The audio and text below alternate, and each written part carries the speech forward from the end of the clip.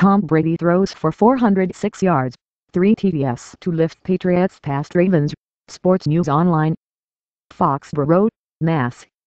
Tom Brady connected with Chris Hogan for a 79-yard touchdown pass in the fourth quarter to help the New England Patriots overcome a sloppy second half and claim a 30-23 win over the Baltimore Ravens on Monday night. Brady threw for 406 yards and three touchdowns, becoming the fourth NFL quarterback with at least 450 career touchdown passes.